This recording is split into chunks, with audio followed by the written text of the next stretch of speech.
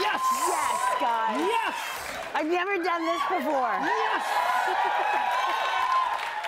Every single time I see you, there is a joy that fills my body that I cannot control. Thank you so much for being on the show. Wow, thanks. This is, this is really exciting for so many reasons. One, because everybody loves you. You're one of the Oh. funniest human beings oh. in existence. And genuinely, this film that you are in is getting Oscar buzz, and I think for all the right reasons. Like, you are phenomenal in this movie, and you're Oh, playing a character you. you've never played before. No, I'm playing uh, Lee Israel is the main character. She uh, is a real person or was a real person. She's a difficult, prickly, um, challenging writer who suddenly was told she was obsolete and was no longer allowed to write. Kind of got backed in, backed into a corner and started forging and impersonating um, literary letters of like just greats of Dorothy Parker, Noel Right. Coward, and then was caught by the FBI.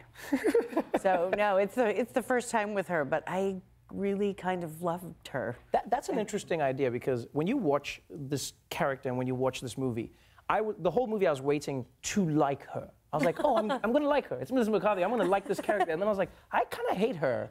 And then and then I then I then it started changing again. Then I was like, no, she's hustling.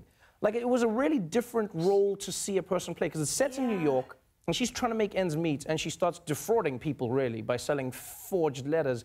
But you Really good forged letters. right, great forged letters. Yeah, really great. But like it's it's weird to play somebody who's not likable and yet liked by some. I know. Well, I felt I had the same feeling because about a quarter of the way into the first time I read the script, I was like, I kind of like her a lot. What did you like about And then, her? but then I thought about it, and it literally made me stop reading it for a second, and I was like, well, why?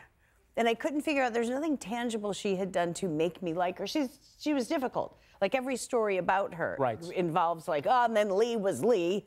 and made it made it terrible for all of us. And then she'd say something, you know, witty and sarcastic and walk away. And like somehow people were a very small amount of people, but were friends with her. But I don't know. I think it was just the thought of these are her defense mechanisms, and what does everybody do to kind of protect themselves? And Right. It was not in her best interest.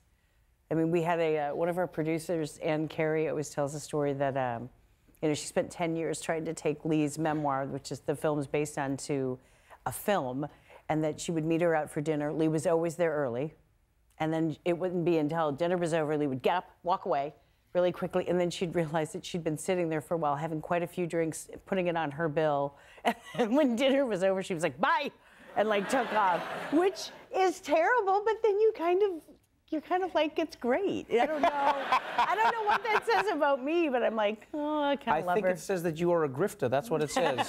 yes. Deep down inside you, there is a Nigerian prince. Yes. That's what it oh. means. Oh. That's You'll what it all, means. you'll all be getting my letters and emails soon.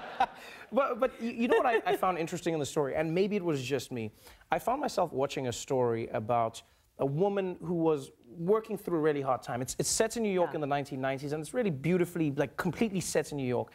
And you have this, this, this, this woman who is described by many people as prickly Yeah. or, or, you know, like hard or. But when you see like a lot of male characters play the same kind of thing, people just be like, "Oh, driven," or like, you oh, know, Oh, he like won't back rugged. down. Exactly, he his, won't back down. his convictions. Right. And then she was just like, oh, she's unbearable. I'm like, well, I think I think there's a, you know, I think that happens all the time. Right. I mean, it's almost cliche that it's it's like so many people still kind of make that reference of like, why would you want to play someone unlikable? I'm like, because we're all unlikable.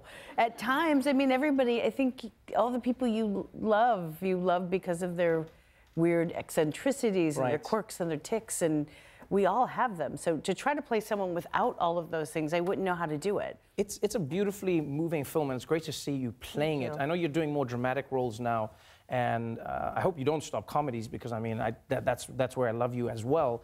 But one thing you've done that I found really impressive is in Hollywood, you have always fought. Like you fought for yourself, you fought for what you believed in, you fought for what you believe you deserve, and rightfully so.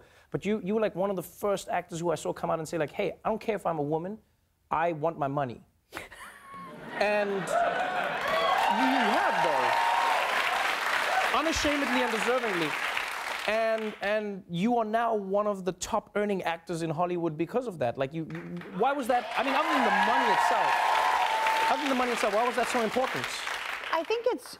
I mean, I, I, I don't know. My husband always says like fists of justice. I just, I think if everybody's getting two dollars and everybody's getting the same types of parts and everybody's, I, I don't think that people can't have different things. But I just think if you're doing, if you're doing the same work, Right. there should be the same, you know, there should be the same work and benefit to everything. Just as I used to read things all the time and just wonder, where's the part? Where's the part? Like, why is the guy so interesting? Why is the guy so flawed and complicated? And then why is the woman just going, John, John, Tom, Sam? These are like, here's, here's like six years of auditions for me. Bob, Bill, Tom. And I just, I was like, I was like, I'm not skilled enough to just keep saying people's names in a, in a kind of bored, uh, over it fashion. I But was you like, do it really well. I'm not gonna lie. Like I, like I would hire you right now. I'm like, if you were This saying, I'd be like, yeah, I'm gonna hire you. This is really just a plug for my new show, John, Jim, and Bill Tom. You'll love it. It's just, it's that. That was the whole show, really. Right. But, but but you really you've really been all about that. Is like growing the roles. I mean, you you you're somebody. you have somebody to ask not, for what you want. Right. And you've started creating what you want as well, which I which I've really appreciated as well, because you're, you're part of creating the movies, writing the movies with your husband. It's is the there fun a, of it. Right. For me, it's the, fu- I mean, it's the fun of it, and the, the really great thing was that we ended up, we, one, we can work together. I mean, I met my husband, Ben, at the Groundlings Theater in LA, and we met writing and performing. And that's why I kind of grew to be crazy, kind of. I shouldn't have qualified it with, I kind of like him. Um, um, I like you a lot, honey. That was the one time I couldn't find the camera. It still seems insincere. Um, no, it's like, you know, that's how we met. And that was like the joy of it and doing it ourselves. Like, I want to be part of all of it. I want, I want the workload from it. I want the fun of it. I want the challenge. I want the nerves. I want everything. I think the whole thing is, uh, is, is part of the joy of what, you know, we get to do. Right. It truly was a joy watching you in this film as well. Um, if somebody goes into the film and they're expecting to see the Melissa McCarthy that they know from everywhere else, and, then- and then they see you in this, what's the one thing you'd want them to take away from your character? You know, because there's, this, like you said, there's so many layers to people that we don't know. There's so many shells that people have. What is the one thing you hope people don't miss about your character? Well, I, I think I took away quite a bit from Lee, and, and for me at least, and I hope other people get this, is to like look up and actually see people. I think there's so many people that we pass and that almost become invisible to us, and everybody at some point needs to be seen. If, even if it's for a second, if it's for a second on the street where you actually can make eye contact with someone Right. and that person feels like I am here, someone saw me, that will snowball and then they'll look at somebody else and we tend to all be so concentrated on our phones and devices that i'm not i'm a, a dinosaur that like i can't i don't email i, I don't do any of that i'm uh, which frustrates many people Right.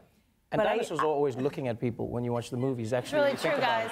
They always dinosaurs look at you. look up but since i'm not on my device Right. i usually am sitting in a room watching people all do this and no one's looking at each other. I'm like, oh my God, you have to connect with people. And Lee made me very much realize like how lonely and isolated she was. And when she meets Jack, played by Richard E. Grant, who's tremendous in the film, they're very unlikely friends, but Right. they, they both just needed somebody to see to see them. That's so beautiful. Thank you so much for being on the show. Thank you. And good luck the Oscar. I'm excited for it. Can You Ever Forgive Me? Can be seen in New York and LA October 19th and opens nationwide in the coming weeks. Melissa McCarthy, everybody.